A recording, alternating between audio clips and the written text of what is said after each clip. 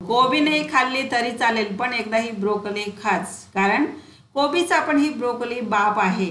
आणि ब्रोकलीमध्ये vitamins A B C भरपूर अशा प्रमाणात आहेत. त्याचबरोबर ब्रोकलीमध्ये calcium iron fibres magnesium phosphorus घटक फ्लावरपेक्षा अधिक प्रमाणात असतात. या भाज्यांमध्ये डायटरी फायबर्स अँटीऑक्सिडंट्स घटक आढळतात. फ्लावर आणि ब्रोकलीमध्ये पोटॅशियम घटक मुबलक असल्याने हृदयविकारांसाठी या रुग्णांसाठी फायदेशीर आहे. फायबर घटक अधिक असल्याने पचनक्रिया सुधारायला मदत होते. तसेच वजन घटवण्यासही फायदेशीर असतात. तर या ब्रोकलीमध्ये असे काही घटक आहेत ते जे आपल्याला कॅन्सरपासून दूर ठेवतात तसेच आपली पचनक्रिया सुधारते आणि आपल्या डोळ्यांसाठीही हे घटक खूप फायदेशीर ठरू शकतात. तर याची मी तुम्हाला रेसिपी सांगणार आहे. तर फ्रेंड्स याआधी तुम्ही घरगुती यूट्यूब चॅनलला सबस्क्राईब करा आणि जवळ असलेल्या बेल आयकॉनला देखील क्लिक करा. आणि हा व्हिडिओ तुम्हाला आवडला असेल तर लाईक करा.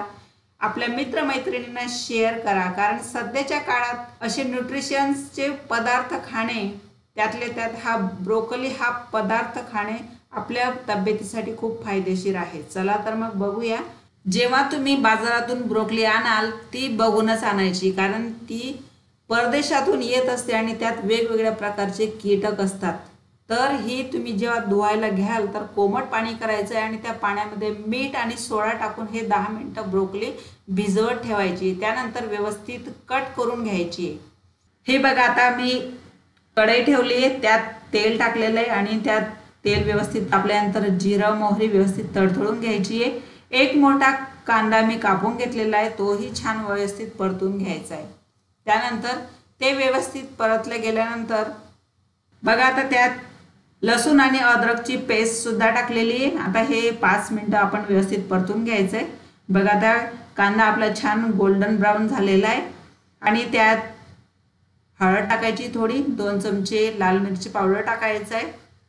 धण्याची पूड टाकायची आहे गरम मसाला टाकायचा आहे आणि चवीनुसार मीठ टाकायचं आहे. आता हे आपण व्यवस्थित मिक्स करून घ्यायचं आहे.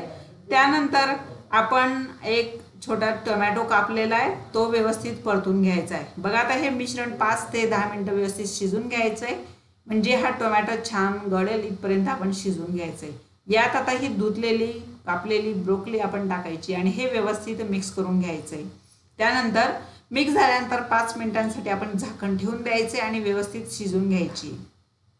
बघा आता व्यवस्थित शिजत आलेली आहे. आता व्यवस्थित परतून घ्यायचंय आणि यात आता आपण थोडं पाणी टाकायचंय. बघा पाणी टाकल्यानंतर आता ही व्यवस्थित शिजून घ्यायची आहे आपण. अतिशय छान आणि बेनिफिशियल आपल्या तब्येतीसाठी चांगली ही ब्रोकली आहे.